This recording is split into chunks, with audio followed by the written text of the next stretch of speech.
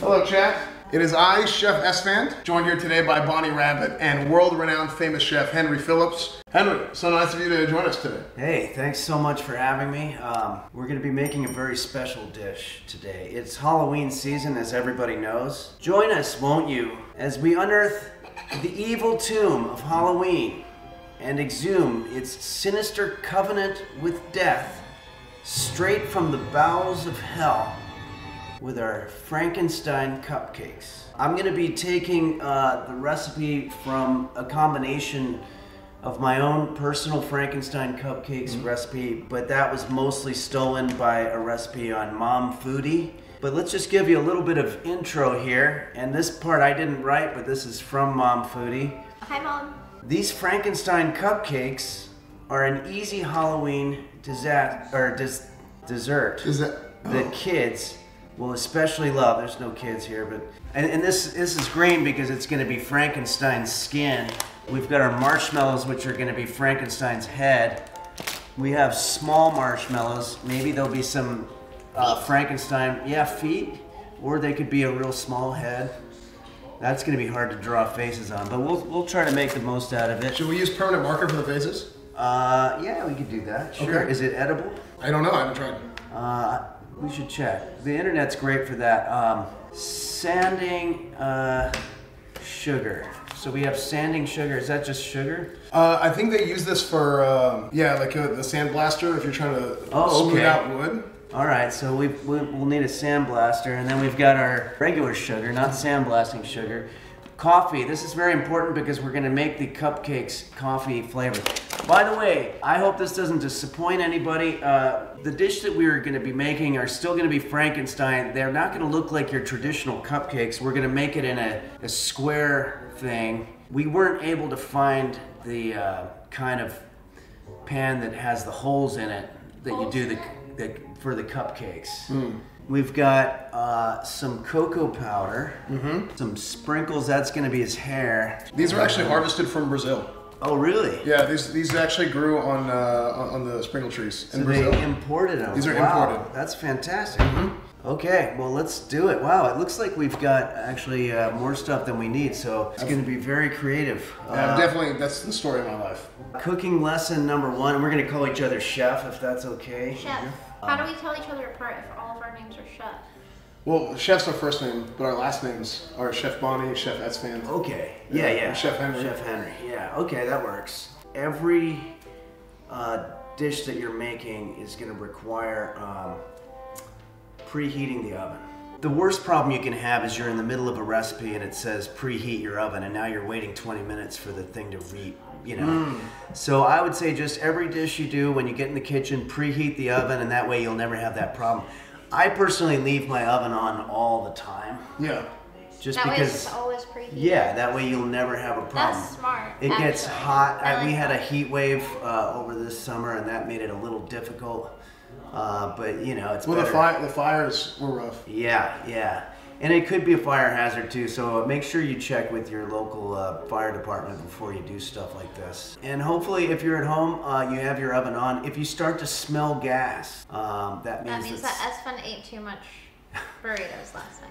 That could be, but uh, generally speaking, yeah. If, if you, either way, if you smell gas, it's not a good thing. All right, How let's big? move over here to our. Uh, this is called the work quarters. How big do we want the bowls? Um, the question. We're gonna need. Why don't we do the two These middle ones are already ones? seasoned. Oh, cool.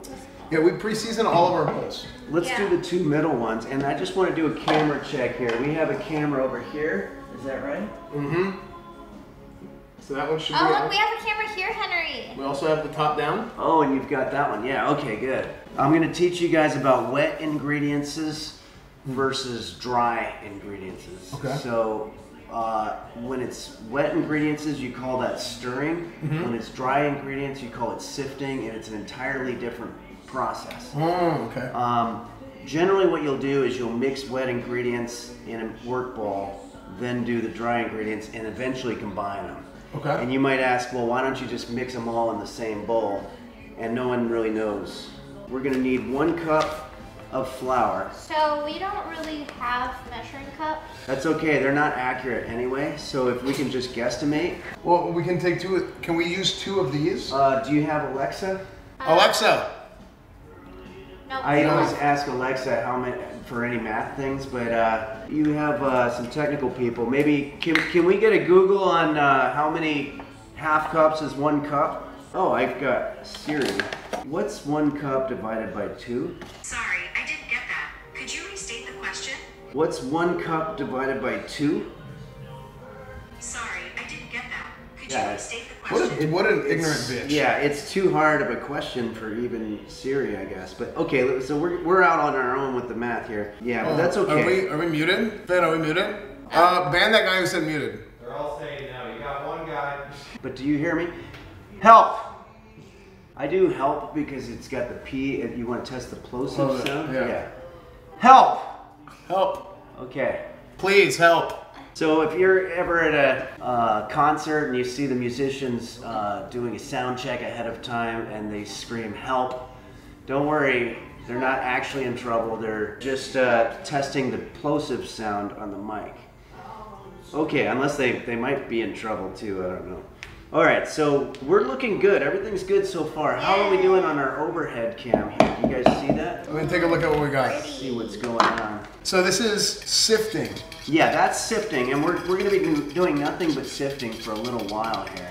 Okay. So, okay, we need half of a half a teaspoon of baking powder. Half of a half of a teaspoon of baking powder. Okay. Yep. The kitchen uh, is one of the most dangerous places in the house and also in the world, I would say, because uh, when you think about it, where where else can you just walk in and have open flames, sharp objects, um, fear of public humiliation? But uh, okay, good. So you're getting two blocks. Oh, what do you got? Pretty soft. So that, is that three? You got a three? soft. Wait, hold on. Bonnie, how much did you put in there? Three or six? Six. Six tablespoons. I put six Okay. in. So, So what do you got? What are you doing? oh, I was just having fun. Oh, okay. You're just making blocks. Yeah, it's like Legos. Nice. Okay, great. So let's So put gonna let's divide right those now. exactly in half. So one egg each. Okay, so we've got one egg each. Now we're going to need. Okay, this is. Uh, it's saying that it wants granulated sugar in these bowls. Okay. Yeah. But what did I tell you earlier? Heck, Sanded sugar. Well, Right? Well, this is pure cream. sifting happens in the dry bowl. So I'm, I'm going to assume this is a, a misprint because it says in a separate bowl, whisk together your butter, eggs, and sugar. But sugar is clearly a dry ingredient. So let's go ahead and put that sugar in our dry bowl. Okay. I'm not trying to say Mom Foodie is a sham organization, but I'm just saying that they might have uh, mistakenly thought that sugar was a wet Wet. ingredient, but it's clearly a sifting uh, substance. Okay. So, Chad, this is something that, uh, again, having uh, Master Chef Henry with us today is, uh, is a great honor, uh, as he is probably one of the most esteemed chefs uh, on either side of the Mississippi. We should all be very appreciative of the fact that he took time out of his very busy schedule. Thank you, and it's very kind of you uh, to allow me into your home and uh, let the right one in, as so to speak. Yeah. I don't know if that was a relevant thing, but it is Halloween, so let's keep stirring. Yeah, you know what? This is, I don't know if you can see this on the overhead, but this is definitely not good. We didn't soften uh, that butter enough. So I'm gonna have to put that. Yours looks pretty good, but this one's not. So we're gonna put this in the microwave. The first thing I want to know though, is this a microwave safe dish? No, but I think if we don't do it for that long. Okay, let's do it. Well, is this going to cook the eggs? I'd have to think about that. Okay, so in thirds, so it's more math here. Add the dry ingredients into the wet ingredients and mix until fully incorporated. Wow. Wait, so That's so a mouthful. So just take a third of that and put it in there and start mixing. I think it just doesn't want you to overpower it all at the same time. Yeah. And I'm gonna go ahead and do the same. And it doesn't have to be exactly a third. that's probably a third. Hello. Hi. Emerald is joining us. Chef Emiru, Chef Emiru, meet Master Chef Henry Hi. Phillips. Very nice to meet you. Phillips, hello. I'm a big fan. Well, That we're making that looks- That this. looks, that looks great. Yeah, can we get an overhead shot of this? Um, we're making Frankenstein cupcakes, and we have we're dealing with a situation, a butter clumped up butter, Butter situation. crisis. Yeah. I brought over your, your cookbooks Oh. and I, if you if you would sign them. Absolutely, of course. As a matter of fact, we probably have some recipes in there that we could go through yes, too. I, I've read them Um, all in length. Here, I can sign it. Wow, you've got both of them. This is great. Yes, I also brought you a, a gift. This is my little friend, but I want you to have him. Wow, Oh, look at that. Chef Kirby. I love that. That's amazing. Thank you so much. Chef Henry, I, I feel Yes. like uh, this is Yours is done. almost. Yeah, I mean, it, yeah, keep keep going. Okay. Probably got about two more minutes. Oh, okay. Maybe a half egg. Okay, yeah. I left for like 30 seconds and everything's kind of gone into a chaotic place here. Um, I'm gonna show you a trick. It's called tossing. My grandmother taught it to me when she, she said she learned it when she was in the joint, so to speak. Oh, Um, but we just toss back and forth and let the white fall into it. This is the bowl that you wanted to put it in, right? right. Well, I, I also already just did that. Oh, I should have. I should have done it in that one. Okay. No, it's fine. Well, here I'll just I'll just put But you see how now I have just the yolk. right. But we should. Yeah. Well, and I'll and I'll put that there. Yeah. And by the way, you don't have to do that thing that I just did. Um, let me get. It almost seems like we didn't make enough batter. Like we should have not divided everything by two. That that might be where I fucked up. But you know. Well, I mean, a simple miscalculation is, is nothing to. Yeah, I also want to apologize. Uh, I have had people ask me why I sometimes slip into foul language, and I just want to say that uh, the kitchen is a very stressful place. Sorry. Yeah, what the fuck? And then, uh, yeah, this, the kitchen is very stressful, and uh, F words are basically something that you say when you get stressed out. So that's what happened over there. So I apologize. Right. Uh, how do you ever swear Uh, on mostly. TV? I, I swear most of the time. Okay. Well, I'm glad that we're all on the same page on that. Oh. Okay, guys. Uh, what we need now is our marshmallows. Can we? Okay. Oh, I'm worried about that. Can Well, we- that's fine. This has only got a bunch of egg on it. All of them. Oh, what? Okay. I'm gonna need. Um, TV remote. Cancel the timer. The remote so doesn't let's seem to be take working let's anymore. take the big marshmallows out. What what was the remote for? the television. Oh no. It's okay. Uh, they say you're supposed to put it in brown rice. Hmm. The marshmallows. I've heard that. Or Okay. that's maybe that's just with the phone. So we can put the marshmallows in. I have rice pilaf. Would that work? Uh, I would imagine. No, that's pretty fancy. I wouldn't waste it on a remote. But uh, It's a nice remote. oh, okay. Maybe it's maybe try it. Okay. But but save the rice because you'll want that. Well, I could use the rice after. There you go. Yeah, and Okay. uh, hopefully that's gonna work. Okay. Oh wow! Look at that. Yeah, this is our candy melt. So we're gonna need That a nice incredible. Overhead shot. We have the overhead shot.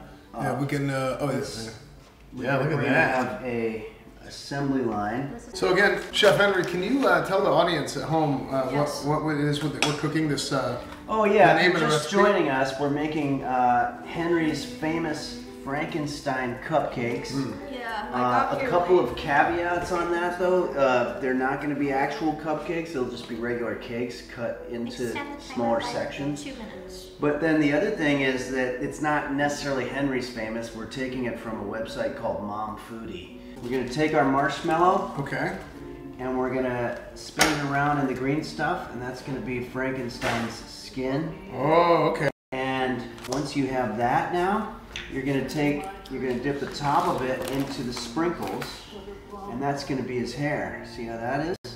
This is, uh, I I don't want to sound hyperbolic, but it's probably the most fun I've ever had in my life. Oh, wow. I'm 53 Me years too, old. actually.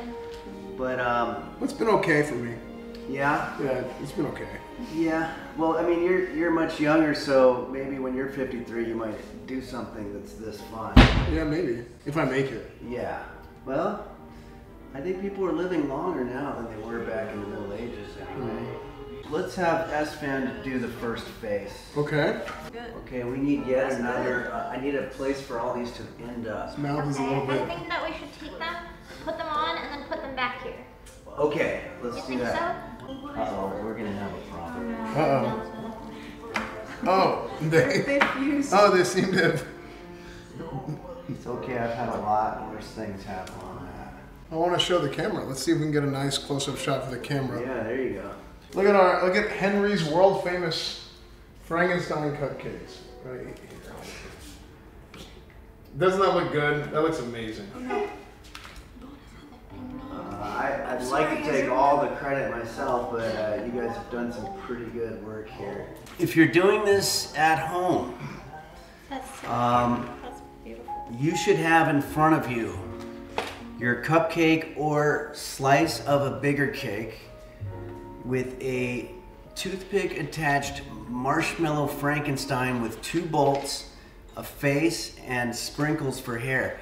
If you do not have these things in front of you, you fucked up somewhere. You need to go back in the video, find which step you might have missed. If you like it, you can take a picture of it and send it to Esfand, and he'll uh, maybe post it, and so we can see other people's Frankenstein. I would, I would love to do that. If they would like to tweet tweet that at us or post in the Discord, we can see Yeah. who the who the best uh, Frankenstein. Bonnie did a cool one with sunglasses. Wow. We have the close-up cam again. And here's one that I made that looks like it's got its face uh, completely reconfigured into a line. It's supposed to be the scream, but it looks like a Minecraft creeper. Oh yeah, that's right. All right. I think uh, I think we're about ready to give it the the taste test. Okay, I think we're ready for that. Let's do it. Okay, so now obviously you do not want to eat this toothpick. That's the only part of this that isn't edible. What I'm gonna do is I'm gonna take the marshmallow part out first and just literally eat the whole thing. Mmm. God. That's too much. And let's try the cake. Fucking deli- delicious, guys. Really? I mean, yeah, it's really good. Well, I will try the technique of uh, I'm going to try both at once. Oh wow. So I'm going to take it from the bottom here, and uh, I would like to then place it long ways into my mouth, mm-hmm. and then I will remove the toothpick.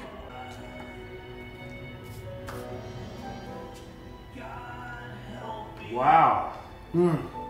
That's quite a technique there. Hmm. I don't know how you did that actually. Hmm. I'm still chewing mine from way back, so keep a lot of it in the foreground of your mouth. Be ready to spit it out.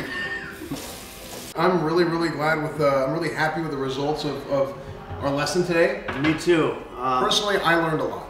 I think we always learn a lot in the kitchen. Even the oldest chefs in the world, chefs that are in their late 80s to early 90s, still learn about the kitchen in their old age. Maybe they slip and fall on a banana peel or something. I don't know. But there, there's always lessons to be learned in the kitchen, is what I'm saying. Oh, thank you. Boy, I'm almost wishing that we did make some coffee. Oh, you want coffee? I'm a big coffee fan. I don't really know how to make coffee. I think you just uh, mix it with water. Yeah, I, I think you just put um, a filter in here. Oh, And then you pour the water over it. No, yeah, you don't do that. That's for sure. That's not. If anybody wants to see uh, what happened there, she just took coffee and mixed it. Actually, I think you were doing instant coffee, but that's a different kind. oh. Chat, thank you guys so much for joining Thanks, us Chef today. Bonnie. Thanks, Chef Henry. Bonnie, Emiru. Make sure to follow Thanks, Chef Emiru. Emiru. Make sure to follow Bonnie Rabbit. Make sure to follow the stream if you haven't yet. Chef Esfand. Of course. Thank you so much. This has been amazing. Yeah, absolutely. We're, we're so glad you got, got a chance to make the time to come Oh, out yeah. here. Don't forget him. Thank you.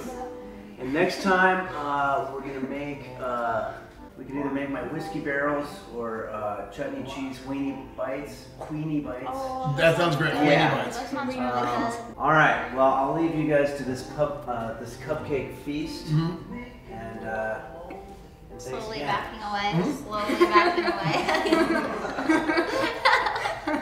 Bye, Henry. Bye, Henry. Thanks for coming. Thank you.